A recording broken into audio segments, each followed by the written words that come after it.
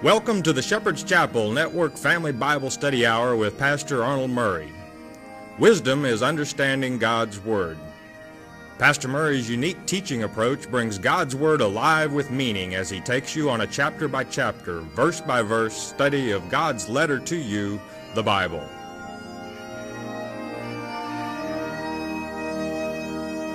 And now here is Pastor Arnold Murray. Good day to you. God bless you. Say, welcome to the Shepherd's Chapel. Welcome to this family Bible study hour back in our Father's Word. Luke chapter 21, Christ telling us how to survive the end time, what he expects us to do in the end time. And as, as we covered in the 13th verse, it shall turn to you for a testimony.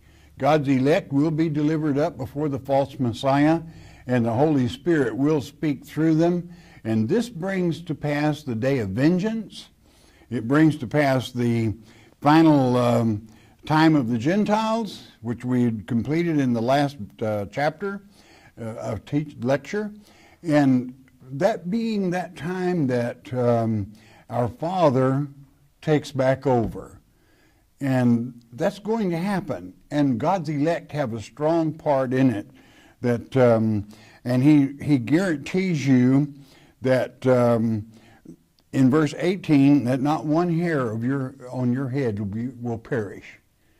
He takes care of that's what he orders Satan when Satan is cast out. Don't you dare touch those that have the seal of God in their forehead. Well, he can't because that means God's truth. You know who he is, Satan. You're not about to worship him. So, having said that, let's pick it up, if we may, in uh, Luke 21, verse 25, as we continue the instructions concerning the end times, how it's going to be. And what he actually covers here is the seven trumps, the seven seals, and the seven vials. The, one in order as they come down the uh, chute here in this 21st chapter, as well as the 24th chapter of Matthew, 13th chapter of Mark. Verse 25, word of wisdom from our Father, and it reads, And there shall be signs in the sun, and in the moon, and in the stars, and upon the earth, distress of nations, with perplexity the sea, and the waves roaring. And there will be signs. The fallen angels are going to be cast out of heaven again, along with the false one.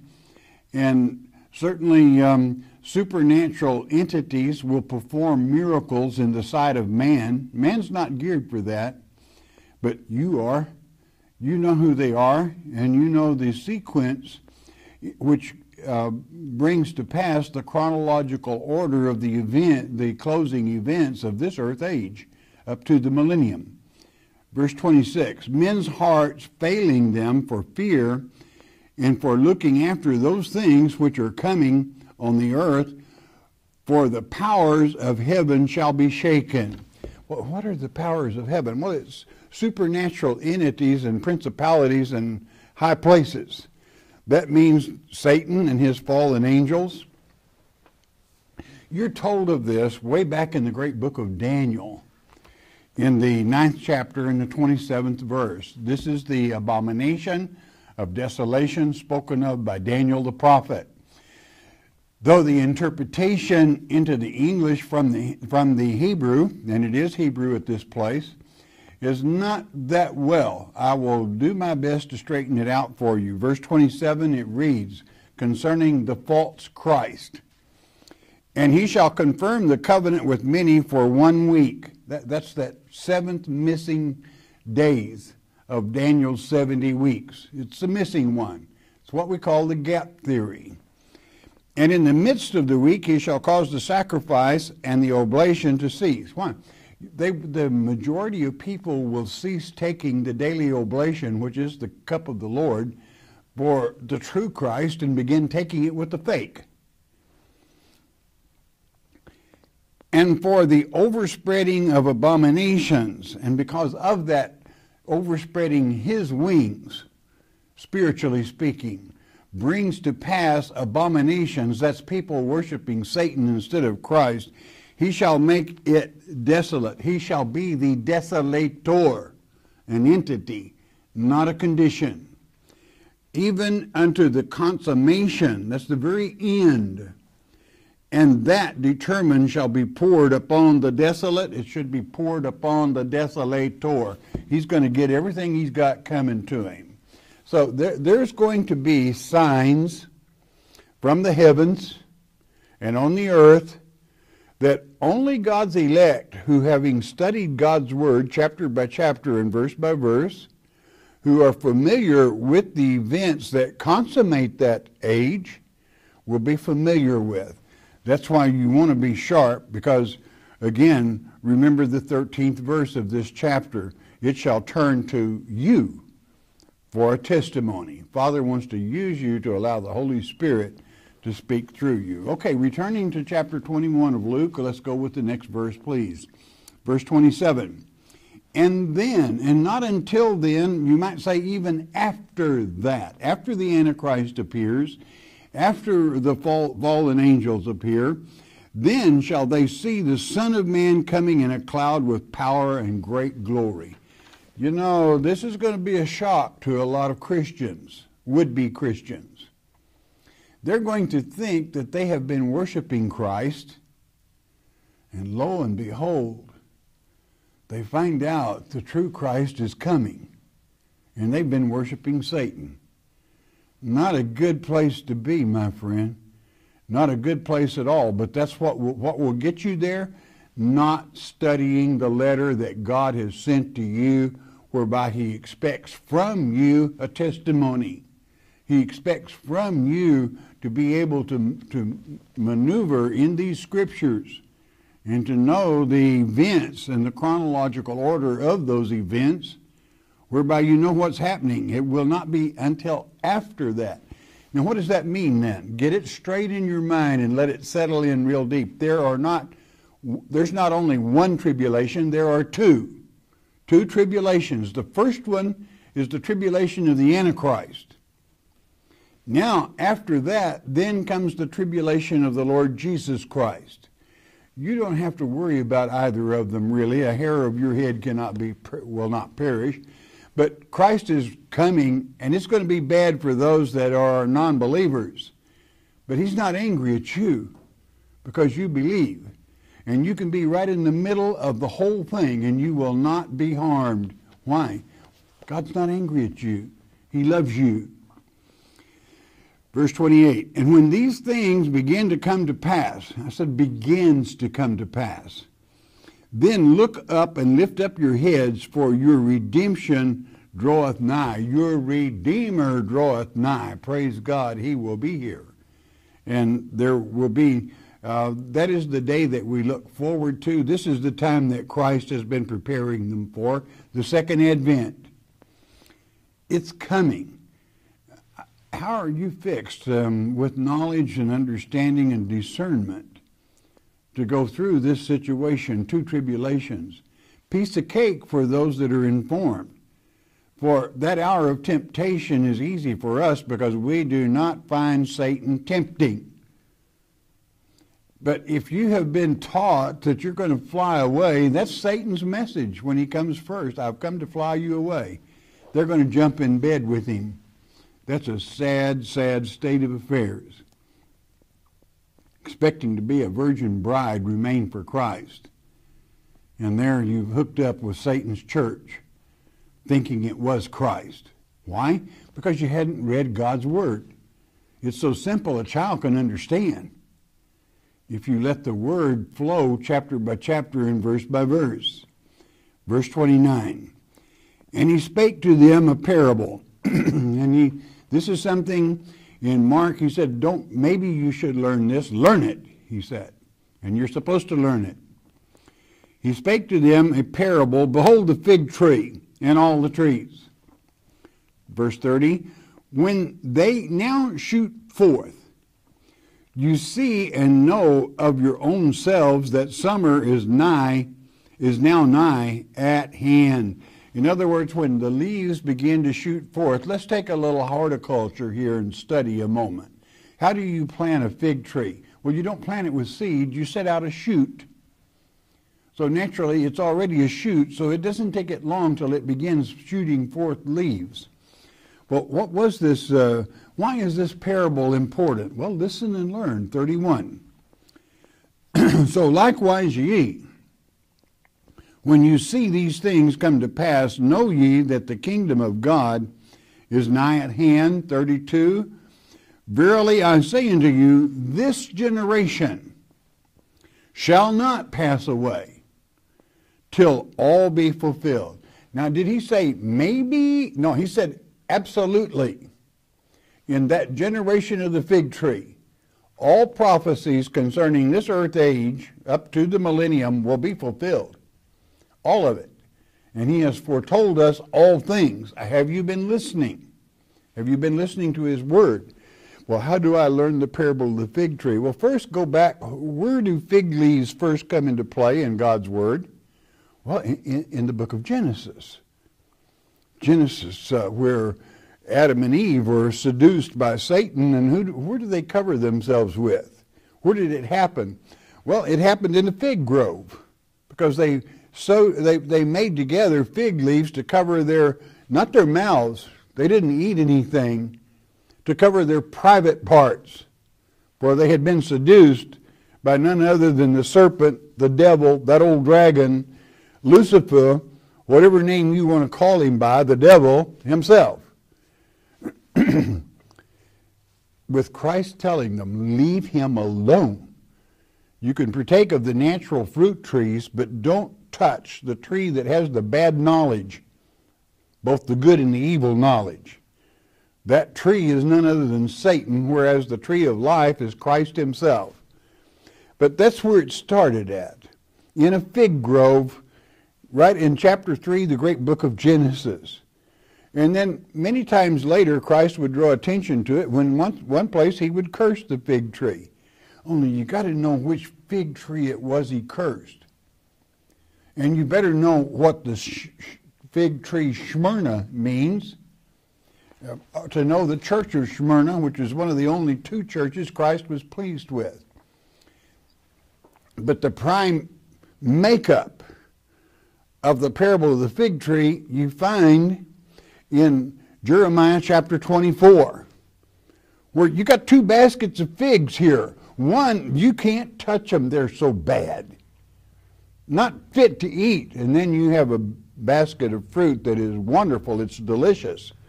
And this is why God wanted you to know the difference between the Kenites and God's children. And then he goes on to tell you when Judah returns to Jerusalem, when Judah returns to Israel and forms the nation Israel, that's the generation. Well, how, how many times has that happened? Well, let's see. When Christ walked the earth, how many times was the nation Israel founded from that time to this? Only once. Well, you know, let's see. Uh, you don't even need to know two and two make four because it only happened one time. It happened in the year of our Lord, May the 15th, 1948. That's when it happened.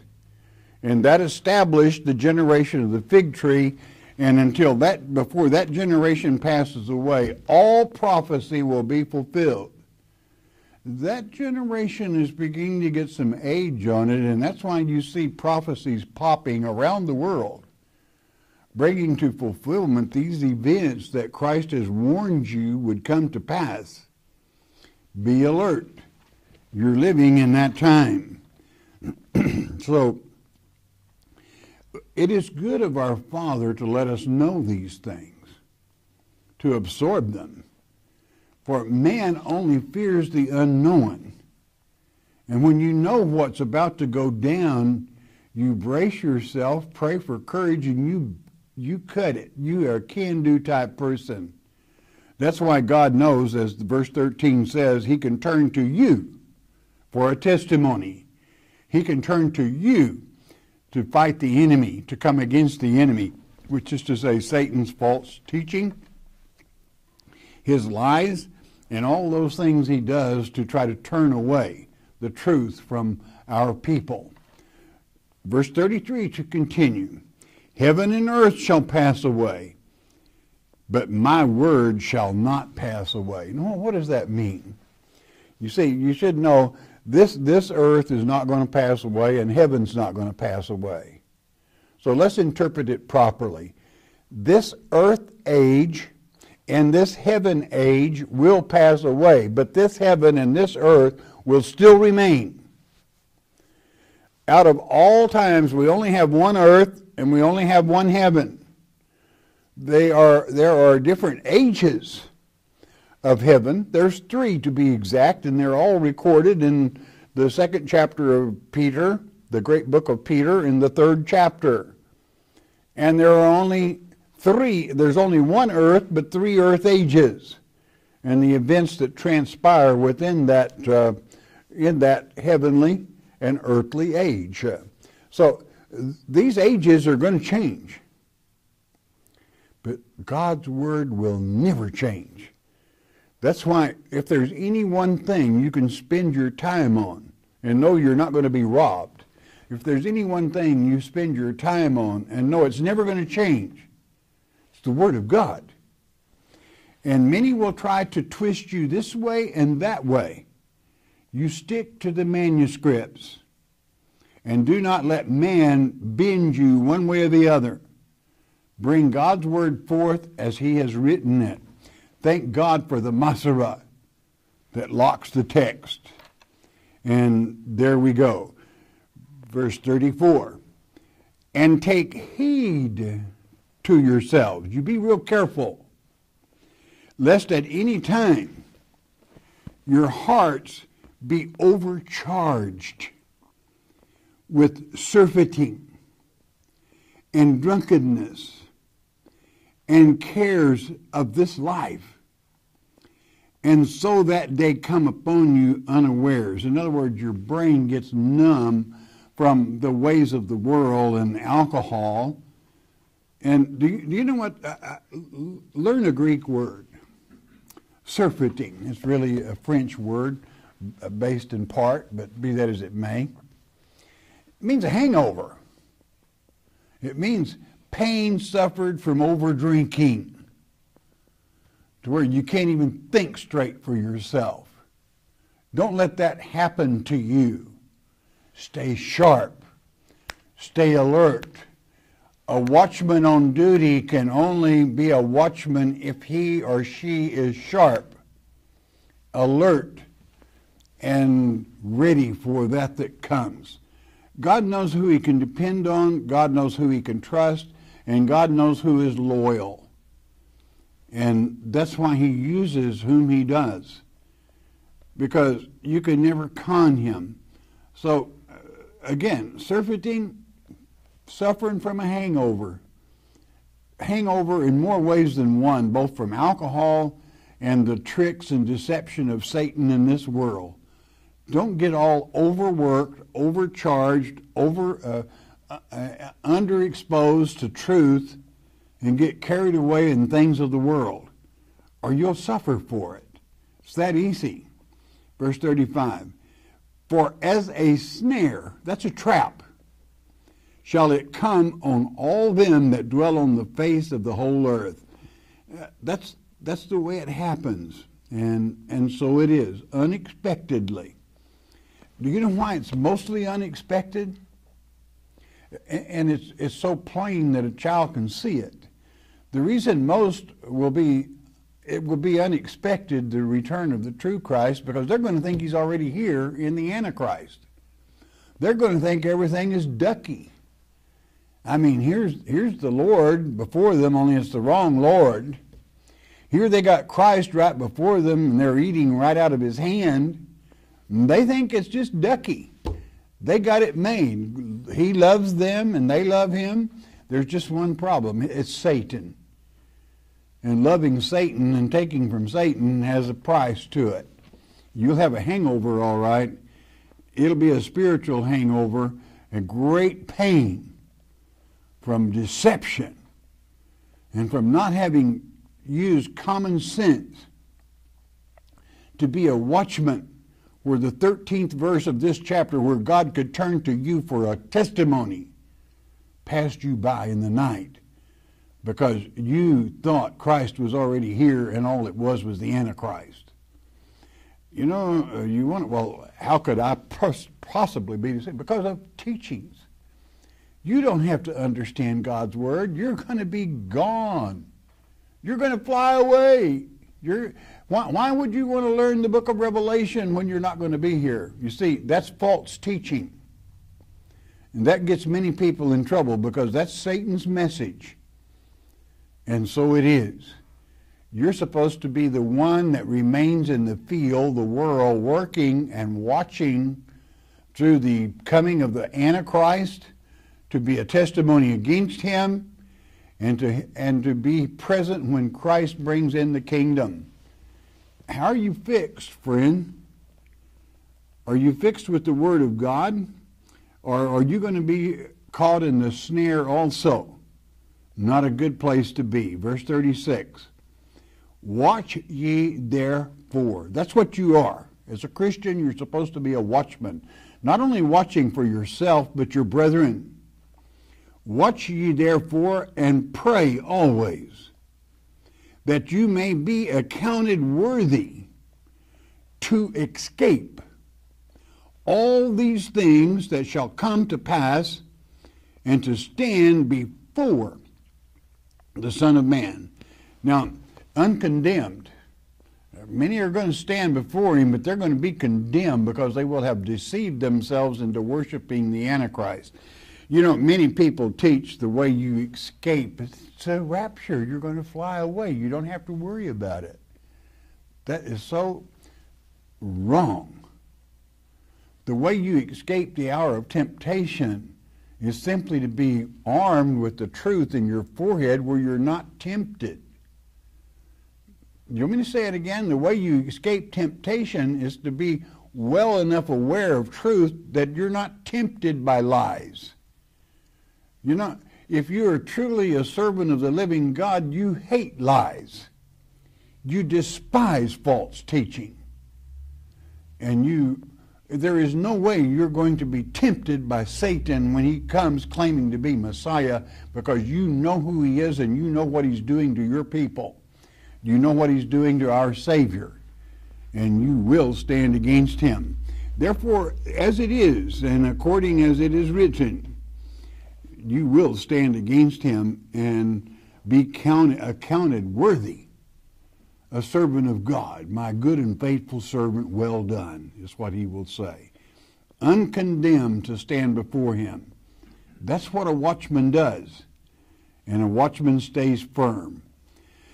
It is amazing to me that some people, some teachers, along with this escape artist stuff, will absolutely take Matthew 24 or Mark 13 and preach a whole sermon about, I want to be the first one taken from that field. Talk about misleading a congregation. When a child, if they'll sit down and follow the subject and the object and pure, purely the, the um, ordinances and the law of the English language as well as any other language you're studying in, that means to follow what is being said by Almighty God. You know that the first one is taken by the Antichrist. Why would some preacher teach his whole congregation to be the first one to go when they're taken by the Antichrist? It shows you the level of intelligence in theology that we are swimming in in this end time when it is time for people to wake up to the simplicity in which Christ teaches. Stick with God's Word chapter by chapter and verse by verse and leave the traditions of men out of it. Listen to your heavenly Father. Follow him. Verse 37 to continue. And in the daytime he was teaching in the temple, as he had finished here. And at night he went out and abode in the mount that is called the Mount of Olives. He, he would go to a little town called Bethany. It's on the western slope of the Mount of Olives. It's much of his time there in that last six days that he would walk the earth here in the flesh body. And what would he see there? On the western slope of the Mount of Olives, what would he see from Bethany there? He would be right above the valley of Kedron, which is the Valley of the Dead. There was a cemetery there. And right on across that, right up to the east gate of the temple itself, of which he would make the great entrance someday at that second advent, as it is written in the 14th chapter of Zacharias in the Old Testament, minor prophets. He would split away open right to that gate from this Mount of Olives here where he is spending this particular time, meditating, teaching, talking in private to his disciples who are about to become apostles, meaning sent ones. Verse 38 And all the people came early in the morning to him in the temple for to hear him. He did not hide. This message was not hidden away then, nor should it be now. It was not swept under the carpet then, and it should not be swept under the carpet today. Now, you know, many people will say, well, brother, if I were to teach that our people had to stand against the false Christ, I'd lose half my congregation or maybe more. Well, good, get rid of them. If they're that weak, you don't want them. But you know something?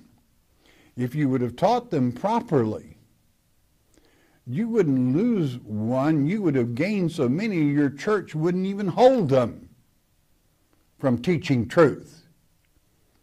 And, and that's as it is.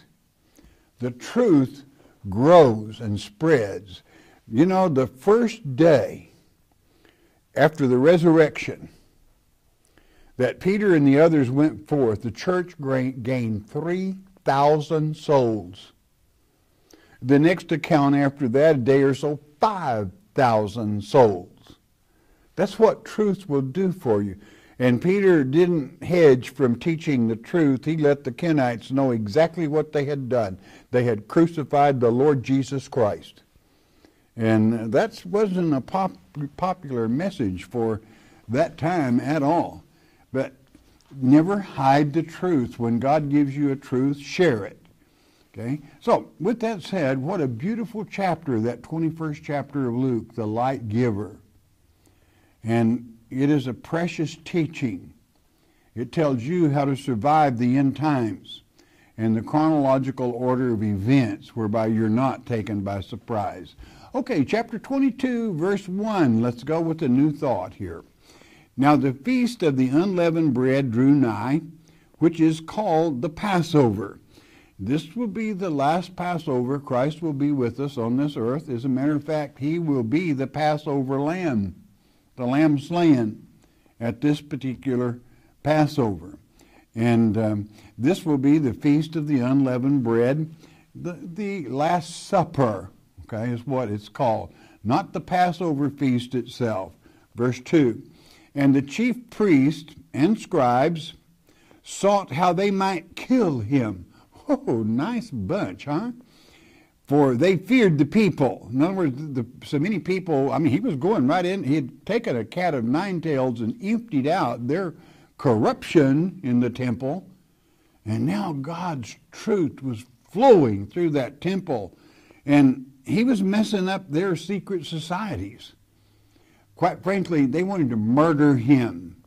That lets you know who they were working for and who they were the children of. Verse 3 Then entered Satan into Judas, surnamed Iscariot, being of the number of the twelve. That's the man of Kerioth, the city builder, a city boy. Verse 4 And he went his way and communed with the chief priests and captains, how he might betray him unto them. And it would take one of his own to where they could take him secretly, whereby there were not a bunch of people around. Now, these captains and these guards are not the Roman guards. They're your little temple tin soldiers that wouldn't, wouldn't, couldn't put up a fight anywhere with, with uh, anyone.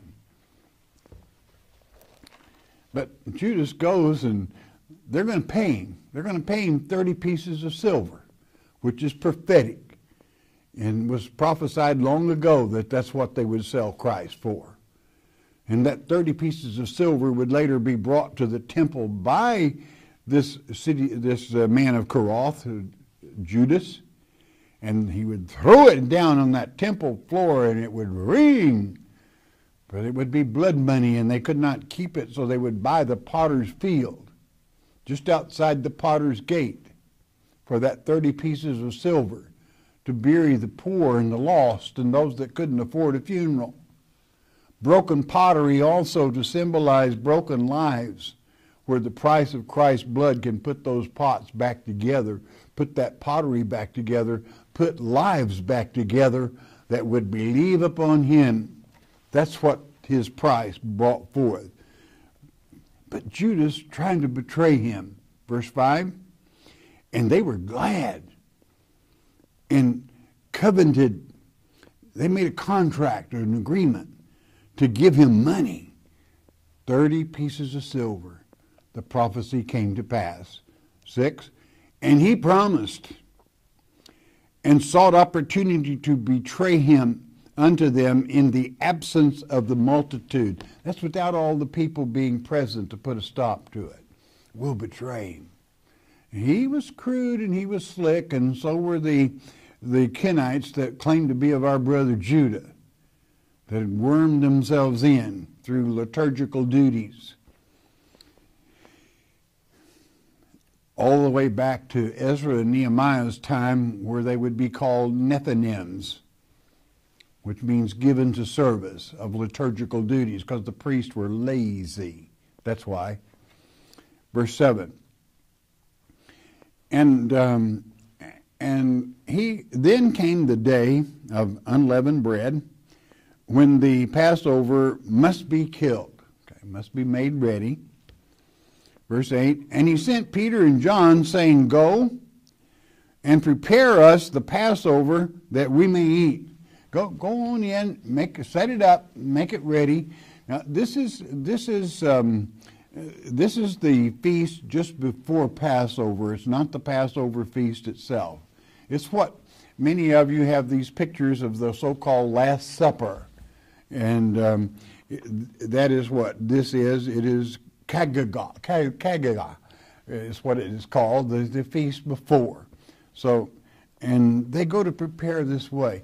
What I will want you to see about this in the next lecture, he told them to go, but it had already been prepared. It was already set up.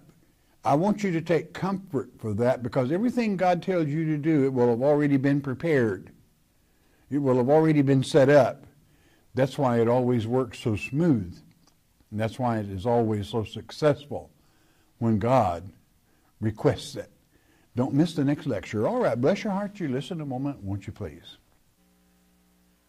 The Mark of the Beast on CD is our free introductory offer to you. What is the Mark of the Beast? Many false teachers would have you believe it will be a tattoo on your forehead or a computer chip implanted under your skin. It is getting late in the game. You need to know what the mark of the beast is. As it's written in Revelation chapter 13 verse 8, many will be deceived. There is no need for you to be deceived. Christ said in Mark 13:23, "Behold, I have foretold you all things." Jesus indeed told us how not to be deceived, and Pastor Arnold Murray takes you on a step-by-step study of God's Word concerning this critical subject, the mark of the beast. The telephone call is free. The CD is free. We don't even ask for the shipping and handling. It is free as well. All you need to do is call 800-643-4645 to request your one-time, one-per-household copy of The Mark of the Beast. You may also request your free CD by mailing your request to Shepherd's Chapel, Post Office Box 416, Gravette, Arkansas 72736. Don't be deceived by Satan.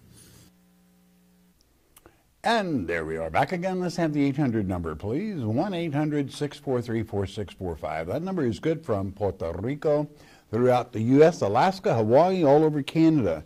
If the Spirit moves and you have a question, you share it. Won't you do that? Please never ask a question about a particular reverend, denomination, or organization. We do not judge people. Our Father is the judge. He does not need our help in that.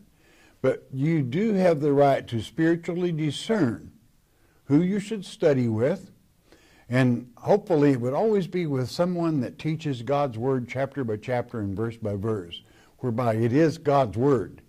For God's Word is eternal. Ages pass and go, generations pass and go.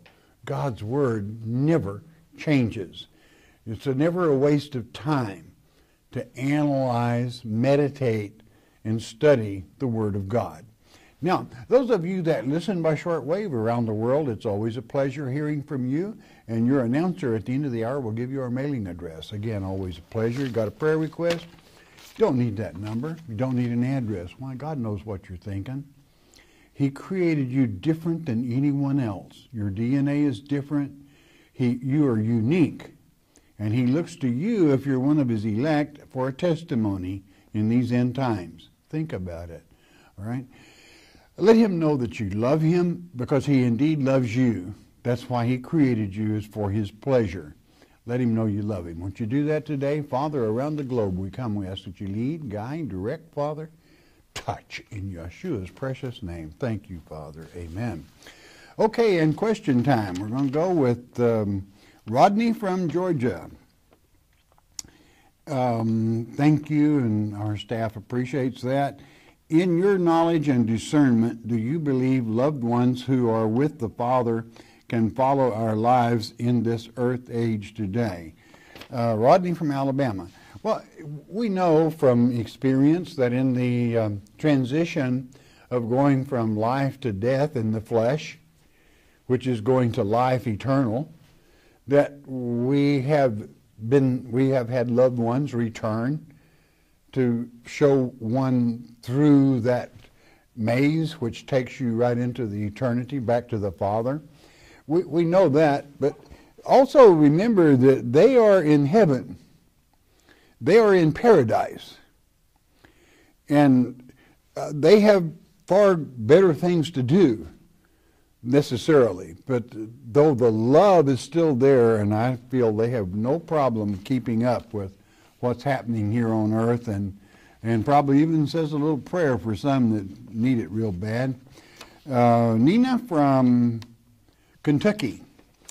And Nina says, I, I want to, I want, I don't have a large income. Is it okay to take home my bills of grocery money to pay is it okay to take from my bills and grocery money to pay tithes?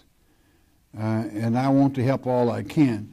Well, tithe is uh, is what is is um, your grocery money and your bills. They need to be paid. God expects His children to pay their bills. Now, what, when you're on a fixed income, what you have left over, if you want to give a love offering, that's fine. But don't, don't ever spend your grocery money to pay a tithe to some church, okay? Um, that is, that is, God does not expect that. There's a difference between a tithe. A tithe is 10%. Okay? And most people today on a fixed income, when by the time they pay their medicine, their groceries, and I know this upsets a lot of ministries for me to say this, but God does not expect the senior citizens to be ripped off and, and go uh, even ruin and damage their reputation by not paying their bills to give the money to the church. You know, this is, this is where the teaching Corban comes from. Okay, I even have a work titled Corban, but it's, it's mentioned in one of the Gospels even. That's where the preachers tell you you can let your mom and daddy starve if you're giving it to the church. That's legal and that's all right. Well, it isn't all right in God's eyes. It's only all right in that particular church's eyes, which is not a church that worships Father. Okay? So, again, a love offering is a wonderful thing if you have something left over, but pay your bills and buy your groceries. Okay? God expects that. And um, for, a question for my daughter, please, uh, Katrina.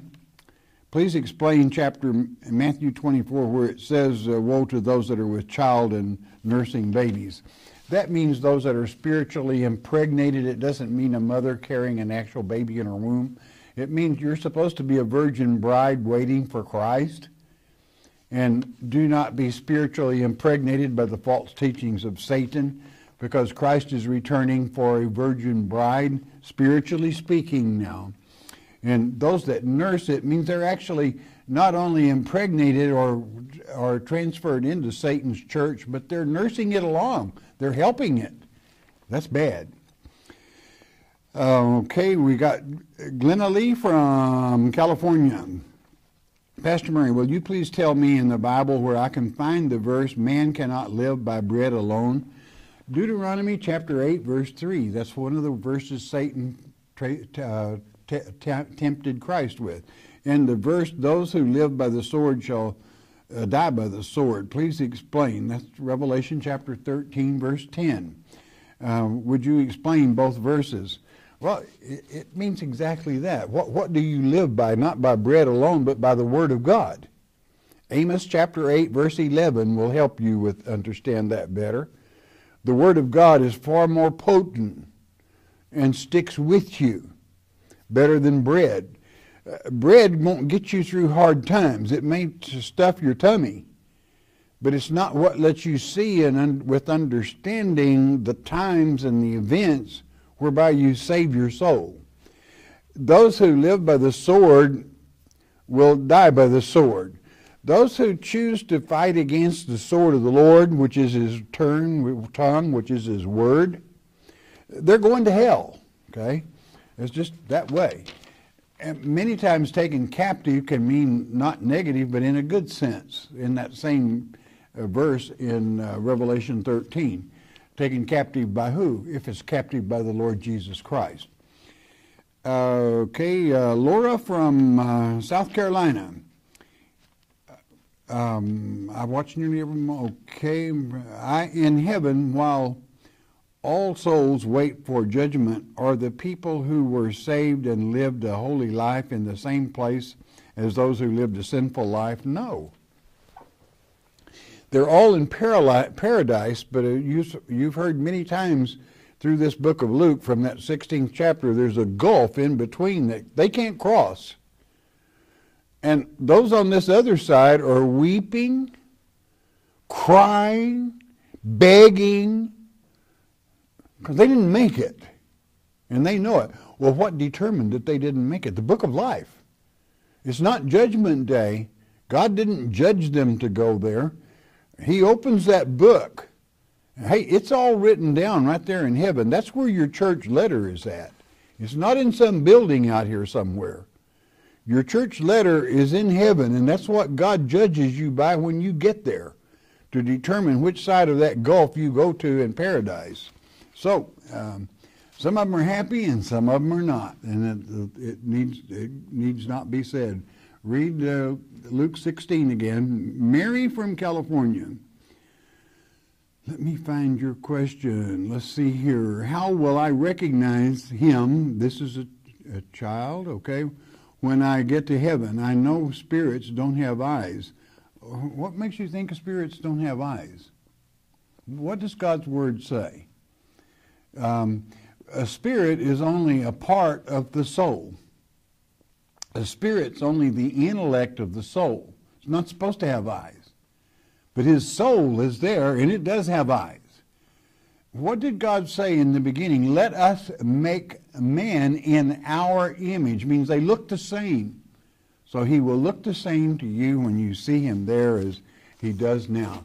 As, as Ezekiel 44 in the millennium documents that you will recognize your loved ones and be able to help them if they didn't even make it um, during the millennium to get their course straight uh, so naturally, you have to recognize them to be able to help them. Tammy from Michigan, can you explain the millennium? I know when we die, where we where we're with the Father. I'm confused about hell. Who will be taught during that this time? And are people that uh, didn't make it going to be retested? Well, let's let's say when when does hell come into being? Hell does not come into being until the lake of fire is created at the end of the millennium. Most translations, take your Strong's Concordance and check this out for yourself. Every time hell is, hell is mentioned in the word, it's either properly translated as grave, supplica, and um, I won't mention uh, one other place, a holding place of uh, wicked ones, but be, it's, it's simply the grave or Gehenna in the Greek outside of Jerusalem, the garbage pit. is an example of what hell will be like. But hell doesn't even exist. That's why they're in paradise and holding, and during the millennium, Christ elect will reign for a thousand years. Do you know why? Because a lot of people are going to say, well, you mean they've got a second chance? Listen to me. With what's being taught in this world today, there's a lot of people haven't got a prayer of a chance. They're being misled, mistaught, and God will not condemn them to hell if they have been mistaught. They will have an opportunity to learn the truth and the truth will set them free, or if they refuse it, they will go into the lake of fire, which will very definitely exist after the millennium. You know what it's called? Go to Revelation chapter 20, and you will find that those that do not take part in the first resurrection will possibly take part in the second resurrection, or in the last verses of chapter 20, will take part in the second death, which is the death of the soul, the lake of fire. Uh, Leo from Maine, you've been you've been a huge blessing to my life. Well, thank you. I appreciate that. Uh, my question is: In the time of the millennium, why would any spirit not choose to follow God, knowing the alternative is the lake of fire? That is a hard thing to understand, but as it is written, there are many that will. Hopefully, we will have been successful in saving most. Let's hope that and pray that, but we know from Revelation chapter 20 there will still be some. And that, that's good. We don't want them around us anymore. We want peace in this world, and that's the only way we will get it. Matilda from um, Matilda from Connecticut.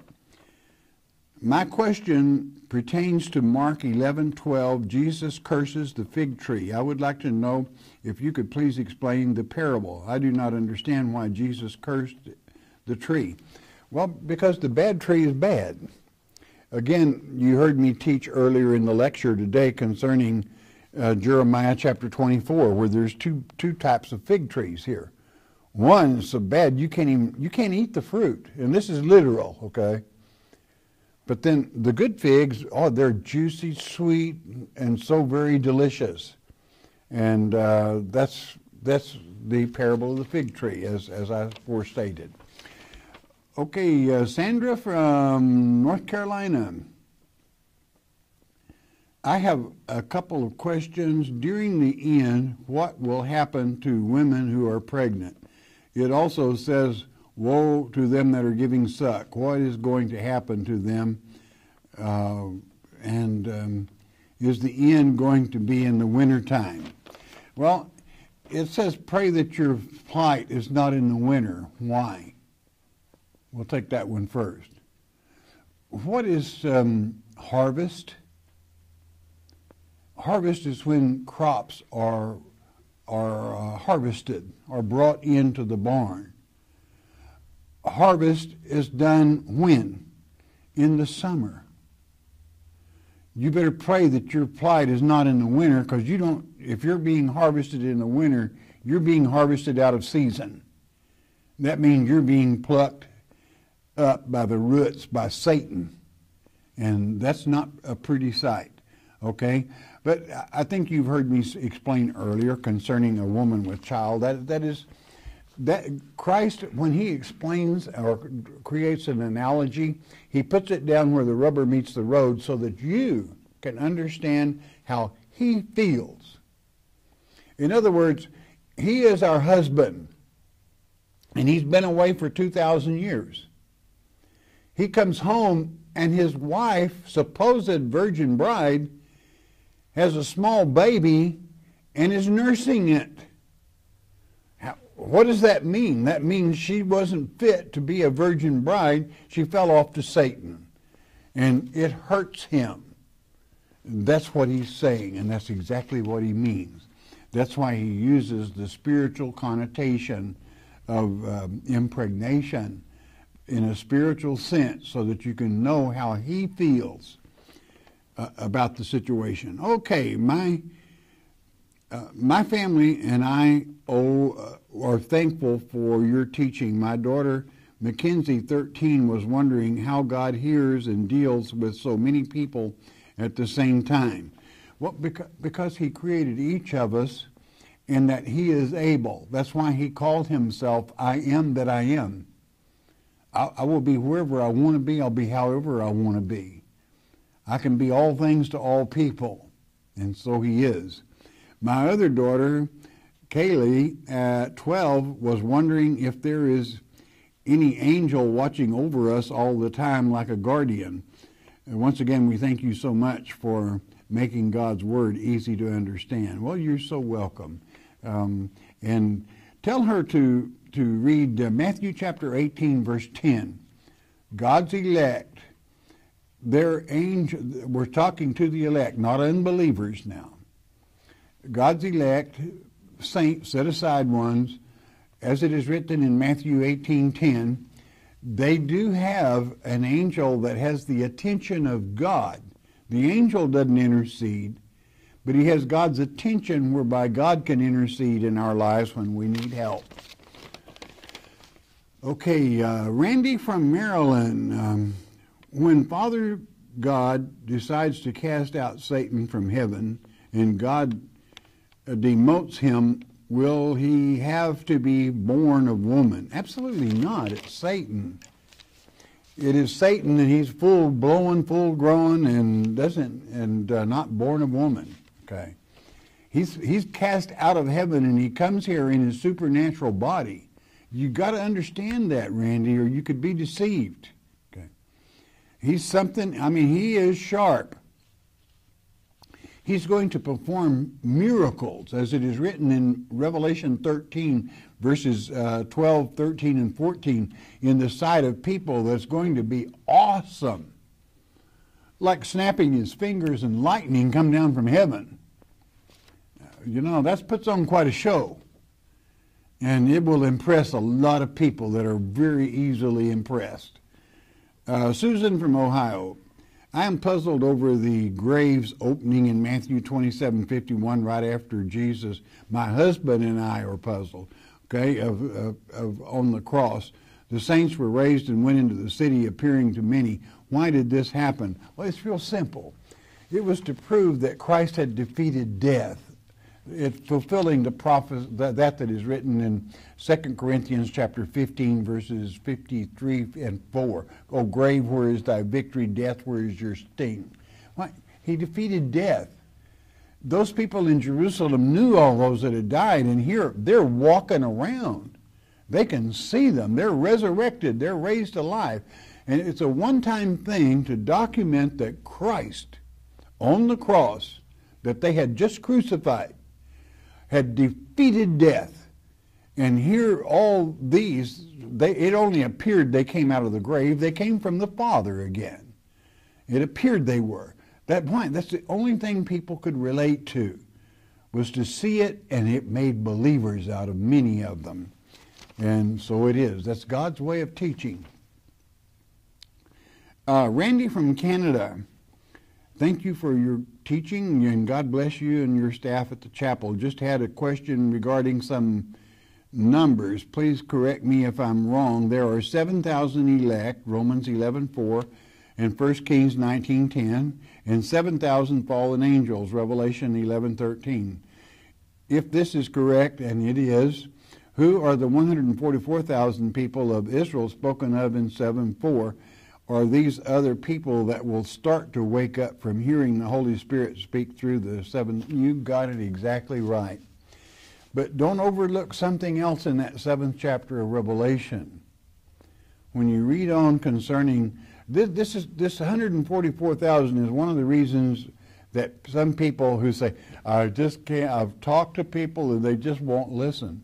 Well, you've been telling the false Christ is coming that you're going to be delivered up. When you are delivered up, and the Holy Spirit speaks through you, they're going to say, Wow, they knew the truth and they're converted.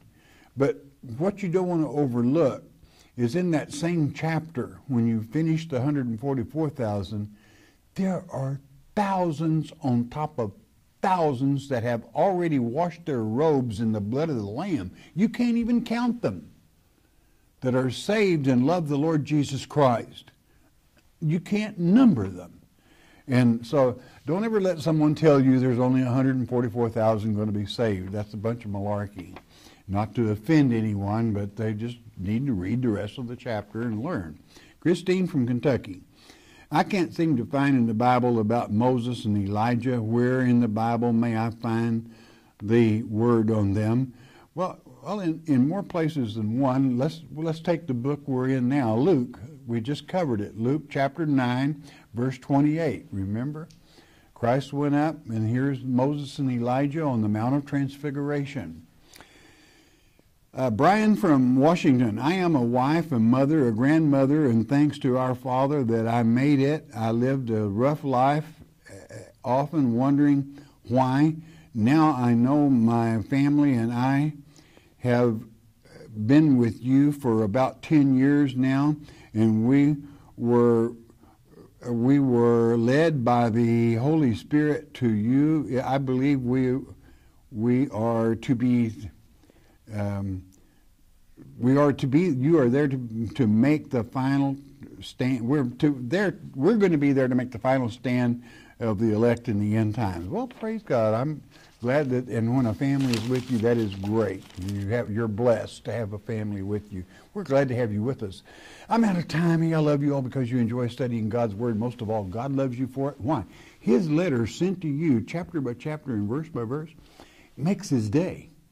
When you read that letter with understanding, and when you make his day, boy, is he going to make yours. He's happy about you. We're brought to you by your tithes and offerings if we have helped you, and only if we've helped you. You help us keep coming to you. Once you do that, you bless God. He will always, I do mean always, bless you. Most important, though, listen to me and listen good. You stay in His Word every day. In His Word is a good day, even with trouble. You know why? because Jesus is the living Word. Hearing God's Word with understanding will change your life. We hope you have enjoyed studying God's Word here on the Shepherd's Chapel Family Bible Study Hour with Pastor Arnold Murray. If you would like to receive more information concerning Shepherd's Chapel, you may request our free introductory offer. Our introductory offer contains the Mark of the Beast audio tape, our monthly newsletter with a written Bible study, a tape catalog, and a list of written reference works available through Shepherd's Chapel. To request our free introductory offer by telephone, call 800 643 4645 24 hours a day.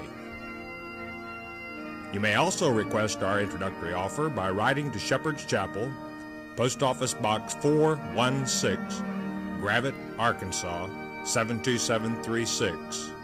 Once again, that's Shepherd's Chapel, Post Office Box 416, Gravette, Arkansas 72736. We invite you to join us for the next in-depth Bible study each weekday at this same time. Thank you for watching today's program, and God bless you.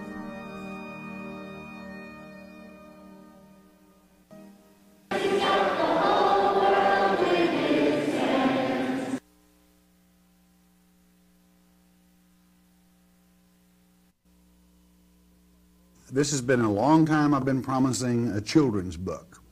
This is a book that will help uh, a parent teach their child exactly what God's Word states. Now, uh, this, this was done by a very good friend and student of this chapel.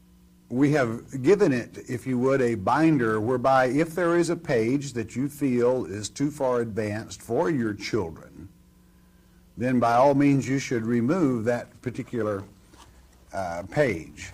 It is done in a material that is even washable, and it takes you step by step into instructing a child what does God's Word say.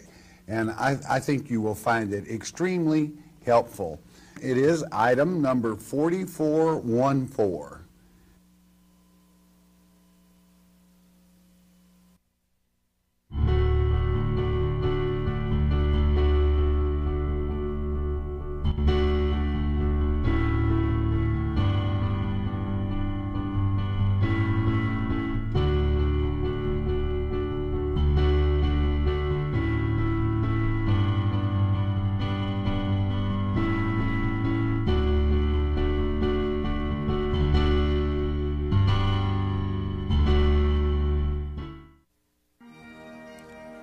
Welcome to the Shepherd's Chapel Network Family Bible Study Hour with Pastor Arnold Murray.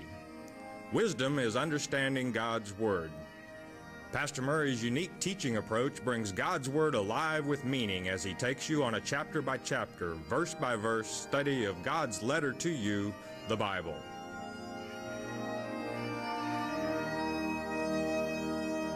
And now here is Pastor Arnold Murray. Good day to you. God bless you. Say, welcome to the Shepherd's Chapel. Welcome to this family Bible study hour. We're ready to get back into our Father's Word. Rapture theory. Is it just a theory? We know from God's Word we're going to gather back to Christ. We, in our first lecture on this subject,